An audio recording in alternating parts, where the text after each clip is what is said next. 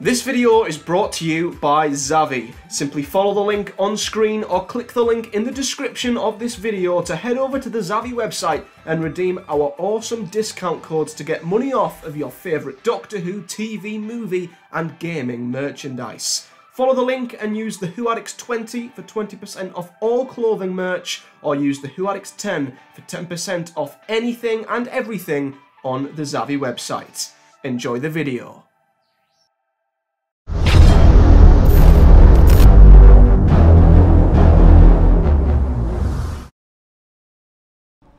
You should have seen it, that old planet.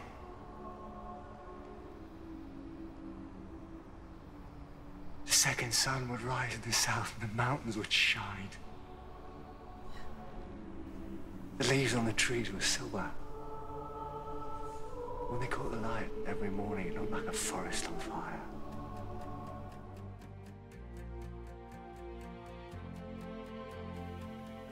Gallifrey, the home of the Time Lords, the jewel, the shining world of the Seven Systems, sat within the constellation of Kasterborous, a world with billions of years of storied history, home to the most powerful species in the entire universe.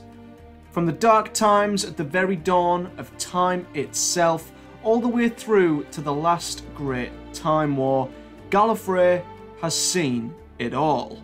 It's housed some of the greatest minds civilization has ever seen, from the ancient Gallifreyans through to the likes of Rassilon, Romana, Omega, the Other, the Doctor, and many more.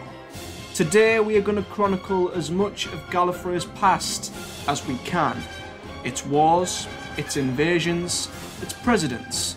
Today we document the story of Gallifrey.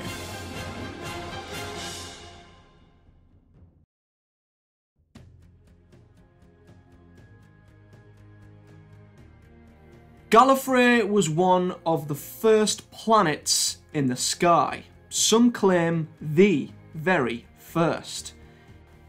In the very beginning, ancient Gallifreyans evolved to be one of the first humanoid species in the universe, when it was all still without structure and in relative chaos. During the Dark Times, there were still no laws of physics and only infinite possibilities. Albeit human, the first Gallifreyans were known as the Shadow People, caught between the warm darkness of magic and the cold light of science. During the time of empires, Gallifreyan colonies continued to grow, with religion, culture, and rule. New cultures began to evolve and gain an understanding of the universe, as the universe itself began to take shape. Gallifreyan society grew and eventually led into the rise of the Time Lords. In the old time, three Gallifreyans, known as the Three Founding Fathers, founded the Time Lord Society. They were made up of Rassilon, an engineer and architect of the planet, Omega, an intergalactic engineer and genius, and the Other, a third member who we now believe to be Tecteun, an explorer from outer space who brought the ability of regeneration to the planet. This was of course following the discovery of the Timeless Child, a lonely child found beneath an unknown portal with the ability to change every cell within its body whenever it faced death. This child, of course, we believe at this moment to be the Doctor. The swift development of the Time Lord race was accelerated further when the three founding fathers achieved the ability of time travel, thanks to Omega's genius and the Hand of Omega. He used the hand to detonate a star, creating a black hole. They suspended time around this exploding star, harnessing its potential energy from the collapse, which would of course never quite occur. This was known as the Eye of Harmony. The three took Gallifrey from its primitive beginnings to an early powerhouse within the still youthful universe.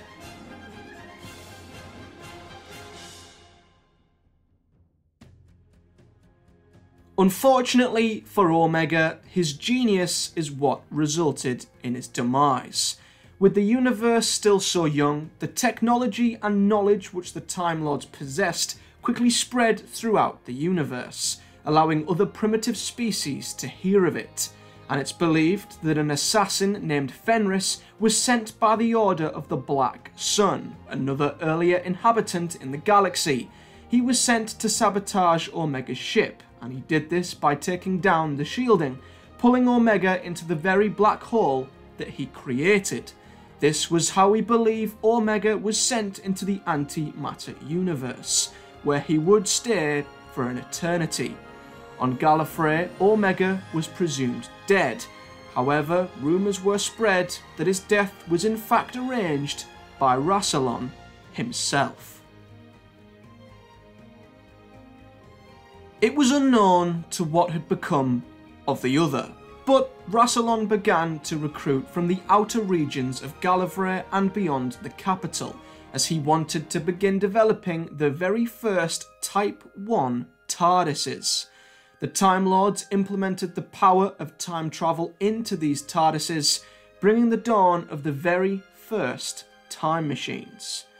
With the established Time Lord Society now in place, the era of Rassilon had begun. Rassilon firstly retrieved the Eye of Harmony and stored it within the vaults beneath the capital.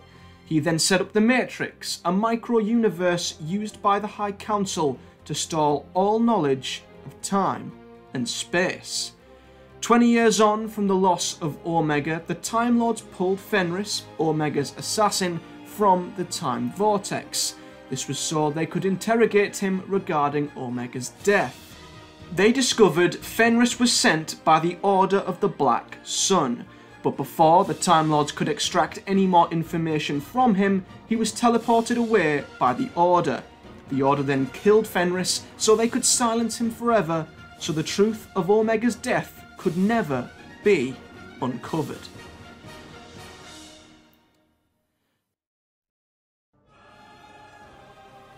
Following the creation of the Type 1 TARDISes, this allowed the Time Lords to step out from the Twin Suns and head off into the universe.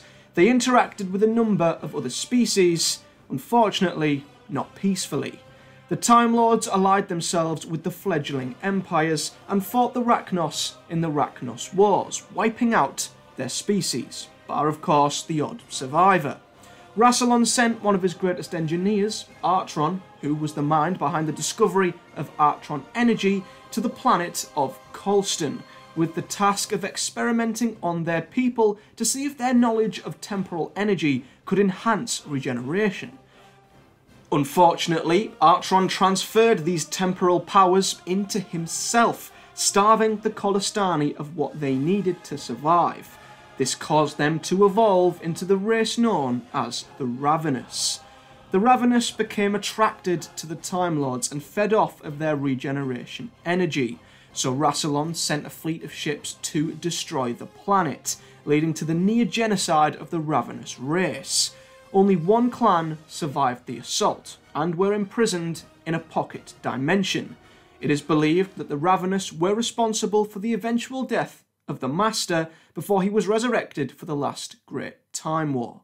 As for Rassilon's close associate, Artron, his disappearance remained a mystery. The Time Lords continued to clash with some of the earlier life forms in the galaxy. They fought a war against the Vondrax before a conflict with the Nestenes. The Time Lords contained the Nestenes within the Ilia galaxy, and then used the moment to destroy them. The moment was created by one of Omega's old adversaries named Repan, and was known to be the last work of the ancients of Gallifrey. It was because of these conflicts that Rassilon introduced the non-interference policy, a policy which would use its power to suppress the weak of the universe. This policy would not include violence, and it would allow the Time Lords to still involve themselves in the affairs of the wider universe, giving them almost godlike status. It was a way of maintaining their rule without them needing to fight. This was followed by what was known as the Eons of Stability, where conflicts within the universe began to quieten, and the Time Lords comfortably began to establish themselves as the leaders of the universe.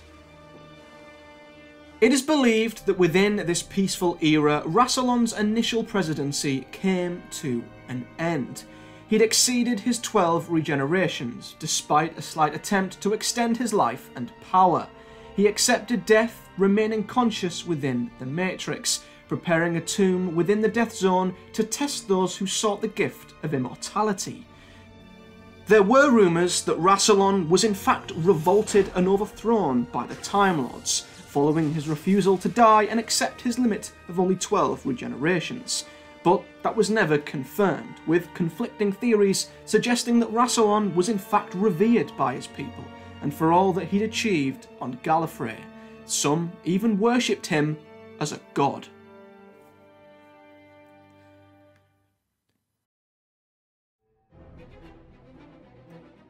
Following his death, this of course meant that the top seat on Gallifrey was available, and with an opportunity of this power and magnitude up for grabs, it was of course always going to create friction. Enter the notorious renegade Time Lord known as Morbius, who quickly rose to power within the High Council. Morbius didn't believe in the non interference policy and wanted it to be abandoned. He wanted Gallifrey to initiate dominance over the lesser species by force, and he did this by recruiting a group of mercenaries to help him, promising them time travel and immortality. However, he was shortly exiled from Gallifrey along with his army by the Time Lords, which led to Morbius causing havoc on the outer universe. The High Council created an alliance and sent them to fight Morbius and his army, which resulted in a war and the loss of multiple planets which were caught up in the crossfire. Morbius and his forces were eventually defeated on Karn, where he was captured, placed on trial, and later executed. Despite his death, Morbius lived on, both physically and religiously. His brain was recovered prior to his disintegration, with his beliefs living on within his followers on Gallifrey, who created the cult of Morbius. They continued to push and fight for what Morbius stood for. By this point, the Doctor and the Master and the Time Lord Society had continued in relative peace. It was in this time that the Doctor and the Master joined the Academy, grew up together, and their friendship developed, as it obviously eventually grew more fractious, before the Doctor left Gallifrey and the Master followed. You can find out more about each of their upbringings in my previous episode, The Story of the Master.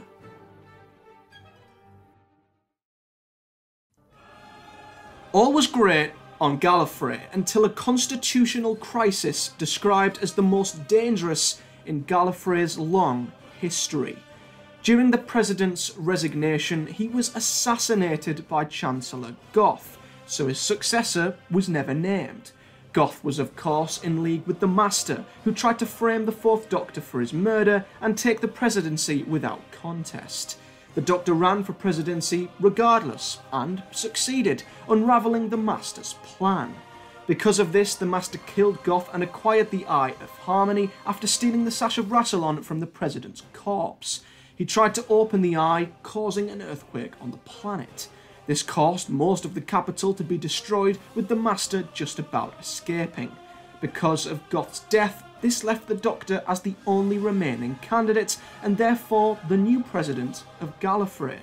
But the Doctor never wanted this, he only ran to discover the Master's plans. So he decided to flee Gallifrey once again in his TARDIS. Later, the Fourth Doctor did return to Gallifrey, finding it without a president and now being led by its Lord Chancellor, Borusa. The Doctor claimed his presidency back as part of a plot to defeat a Vardan invasion. He allowed them to materialise on Gallifrey so their home planet could be found and placed in a time loop. But this was all a front. They were tricked into an invasion on Gallifrey by the Sontarans, and although the Time Lords fought them off, this trick exposed a number of crucial weaknesses of the planet, leading to many further infringements. The Dominators later invaded Gallifrey but were defeated by the Fifth Doctor, as did the Killer Cats of Geng Singh before being stopped by the Fourth Doctor. Gallifrey was suddenly seen as fragile and breakable without true leadership, and it was about to be reunited with an old friend.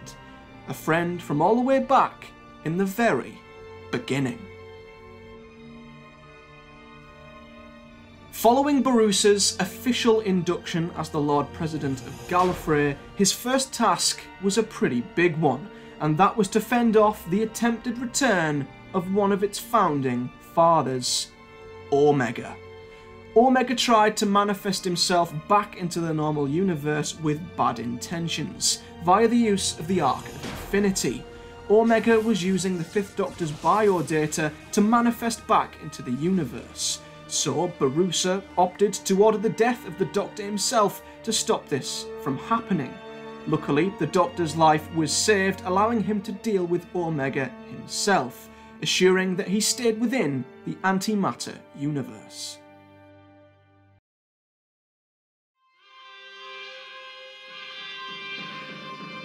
Borusa's presidency continued to be a tough one, as devout followers of Rassilon demanded to replace Borusa with a descendant of Rassilon himself. It was because of this that Borusa turned to the legacy of Rassilon specifically, and his aim was to kind of become what Rassilon was, and seek immortality. Borusa decided that the only way he would remain president on Gallifrey and, I guess, live up to the god that was Rassilon was to become the president, eternal, giving him the ability to live forever. He used a time scoop to trap the four of the first five Doctor's incarnations into the Death Zone, so he could use them to access the tomb of Rassilon. But, of course, as set up by Rassilon prior to his death, this was a trap. Borusa did indeed gain the immortality that he craved, but this was in the form of a statue, forever to be trapped within Rassilon's tomb. The High Council once again turned to the Doctor, making him president once more, although he left Chancellor Flavia with his full deputy powers until he returned. This didn't last long, however, with the Doctor finally giving up his presidency to Castellan Lowry, a time lady he briefly befriended on his return to office on Gallifrey. Years later, he returned again, but this time was on trial. The High Council made a deal with the Valeyard to prosecute the Doctor and in return give him all of the Doctor's remaining regenerations. Following the Master's intervention, the Valeyard's true identity was revealed as he fled into the Matrix before being stopped by the Doctor. But the Master's revelations caused a revolution on Gallifrey, descending it into chaos. Because of this, the Eighth Doctor made a deal with Rassilon for Borusa's temporary release from the Death Zone. This was so Borusa could oversee the current situation. Chancellor Flavia eventually won the following election, becoming the next official president of Gallifrey, with Borusa being returned to Rassilon. Flavia was then succeeded and overthrown by Romana, who became the next president of Gallifrey during the time in which tensions between the Daleks and the Time Lords increased. In order to keep the peace with the Daleks, they created a peace treaty known as the Act of Master Restitution. This was an agreement we've covered in many episodes of the Story of. But it was between both sides that the Master, whose ashes were on Skaro, were agreed to be brought back to Gallifrey following his execution. But following the Master's resurrection, it broke the treaty between both sides, causing the friction between them to reach tipping point. Gallifrey was on the brink of war, with the last Great Time War edging ever closer. Within Gallifrey, there was then an anti time crisis. This began when the Eighth Doctor saved Charlie Pollard on the R101, and according to Romana, saving this woman wouldn't normally change the web of time, but on this occasion, it did. The Never person, Centris, a Gallifreyan who was removed from the web and forced to live in the Antiverse, used this to break back into the universe, creating an anti-time incursion. This incursion stretched time to its limits, with the Matrix needing to be set to remember the correct path of history, with Vansell, a coordinator of the Celestial Time Agency, putting time back in place. Because of this, the CIA sent a number of battle TARDISes into the vortex to try and find the Doctor and Charlie. They wanted to use Charlie as a route into the Antiverse. Vansell believed that Rassilon may be living within this universe and planned to bring him back. But this was all a ploy, however, with the Never people planning to detonate a bomb and force their way back through the barrier and into the normal universe. Luckily, the Doctor used his TARDIS to contain the explosion. Romana's presidency continued to be an eventful reign, battling through the free time movement and the return of Pandora, as well as the Dogma virus outbreak. These were all documented within a huge array of Big Finish audio stories which did involve Gallifrey, but for the length of this video I won't delve into them.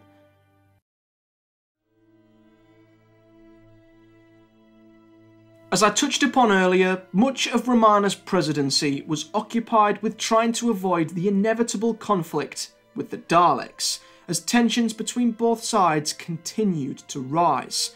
It was in this period to which we believe the Time Lords tasked the Fourth Doctor to head back to Skaro and prevent the very creation of the Daleks, which of course he eventually refused. Both sides tried desperately to either prevent the war from ever happening by going back in time and changing pivotal moments. But the war couldn't be halted, and it eventually broke out, sending the universe into centuries of terror and darkness.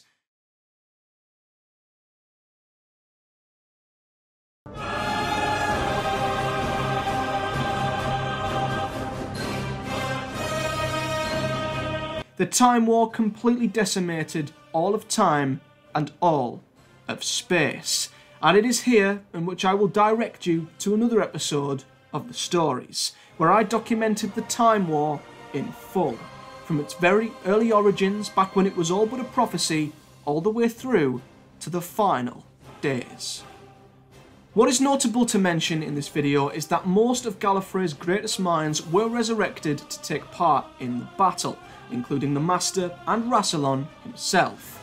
But as the war took its toll on both sides, the Daleks gradually gained the edge, with the Gallifreyans on the brink of surrender. They sent memory lanterns into distant corners of the universe, trying desperately to keep the smallest remnants of Gallifrey alive. But Rassilon had different ideas, as he flat out refused to die.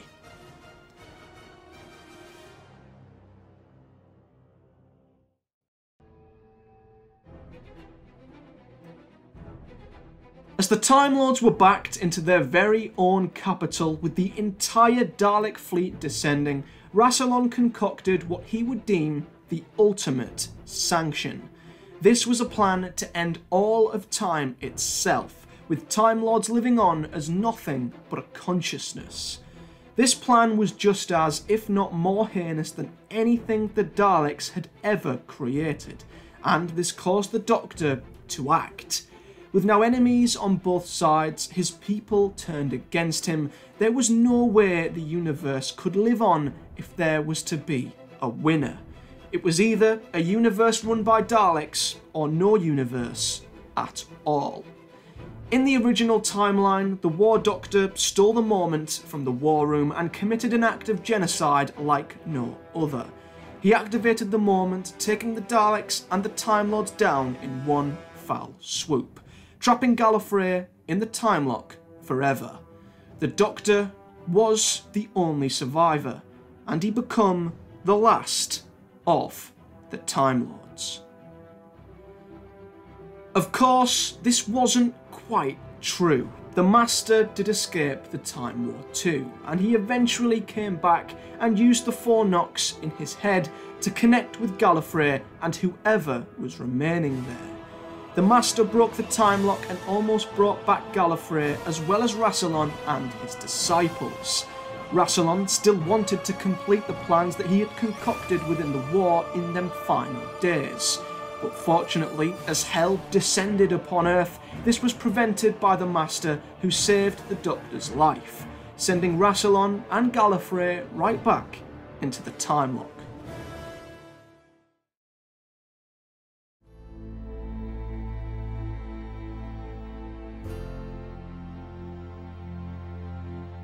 The decision that the Doctor made on the final day continued to plague him, however, with the death of his people haunting his every waking moment.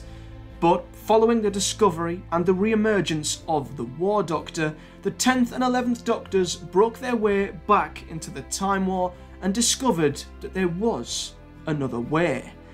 They changed their mind and used the stasis cubes to bring all 13 Doctors together as they teamed up, converging on Gallifrey, freezing it within a single moment in time. This plan caused all the remaining Daleks in Gallifrey's orbit to destroy each other in their own crossfire, saving Gallifrey and all of its inhabitants. Gallifrey wasn't back, but it was safe, hidden and tucked away in a parallel pocket universe.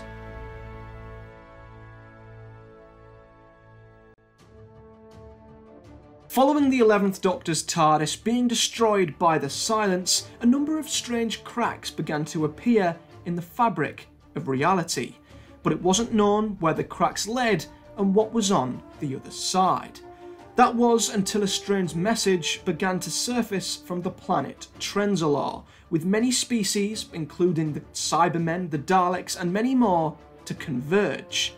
The Doctor broke into the planet to discover the source of this message before uncovering that it was the Time Lords. The Time Lords needed the Doctor to say his name, confirming to them that this was the correct universe. But the Doctor knew that bringing Gallifrey through would kickstart a second Time War right above him. So he stayed to protect the planet and maintain the stalemate. Once the Doctor, though, had protected the planet for as long as his final regeneration would allow him, the Time Lords opted to give the Doctor another 12 regenerations, closing the crack and sealing Gallifrey back into the parallel pocket universe. Or so we thought.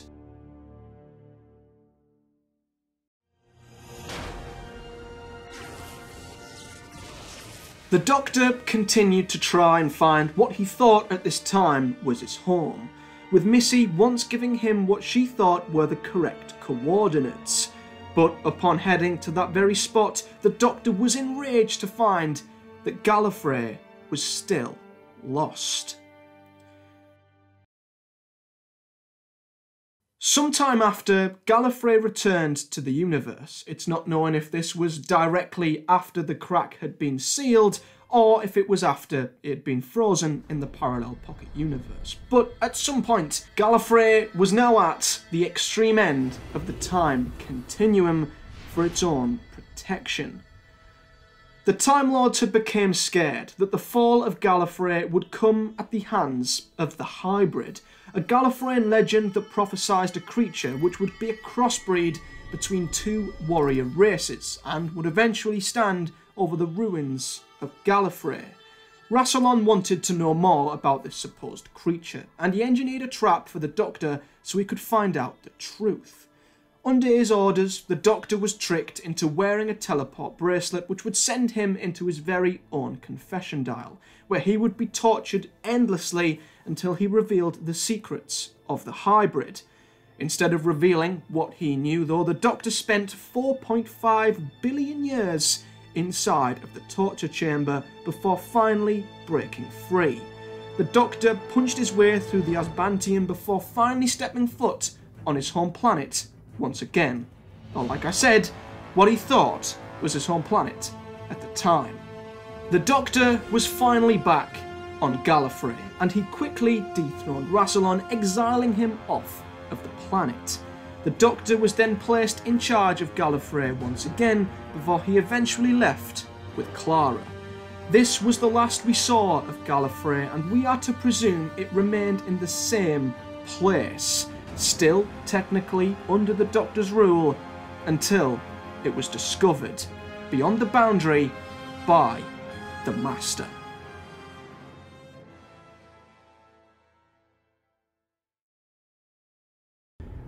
Upon returning to his home, the Master discovered the secrets of the Timeless Child within the Matrix, and learning of Tecteun's discovery and the secrets kept by the Founding Fathers, the Master was horrified by what he'd uncovered.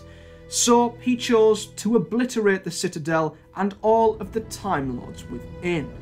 All of the Time Lords' bodies were then implemented into the Cyber Warrior suits, creating a new race of Cyber Masters. It was these Cyber Masters which then stood over the ruins of Gallifrey, who were indeed a crossbreed between two warrior races, being the Time Lords and the Cybermen. Maybe this was the hybrid that Rassilon was so scared of. In an attempt to stop the Cyber Masters, Ko-Sharmus detonated the Death Particle, seemingly wiping out Gallifrey completely, leaving it somehow in an even worse state than it already was. We are to believe that once again all life on Gallifrey was destroyed and it was left in ruin.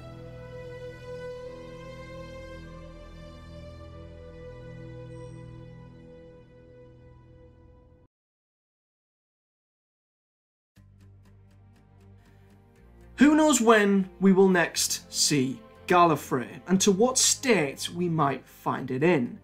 It was already reduced to rubble before being decimated further by the death particle. So God knows what might be left of it if there is indeed anything left at all. You could argue Gallifrey has been through just as much, if not more terror since the end of the Time War, more than it ever did beforehand. It's been trapped within a time lock, stuck at the end of time before being blown up into a million pieces. It suffered civil wars, constitutional crisis, multiple invasions, and failed presidencies, as well as surviving through centuries of the last Great Time War. Its history has been filled full of drama, evolution, and tragedy, and I'm sure it won't be too long before we see what happens next.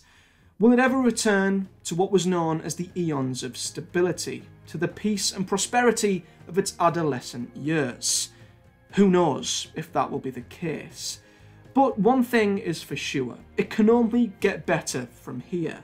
It's been through a lot in its billions of years of existence, and I hope I've been able to document the majority of it in this video. Lots of details are missing, and a lot of them from the comics and Big Finish have been skipped. But fitting 4.6 billion years of life into one video isn't easy, trust me.